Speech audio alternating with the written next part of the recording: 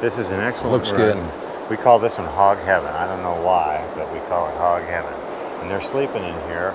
Our best water is here where the two currents cascade and kind of pinch together all the way up this Right. current seam. And you'll see the water spilling over a shelf that runs diagonally up toward the, the big that rock, in the middle yeah. of the rapid.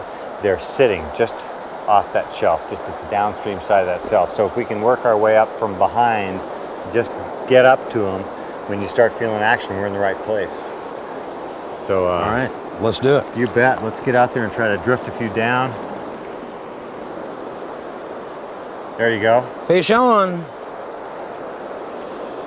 There you are, Dave. Doesn't feel too big. Well, let's see now. Sometimes they fool you. Ah, it's not a bad fish. He's right here.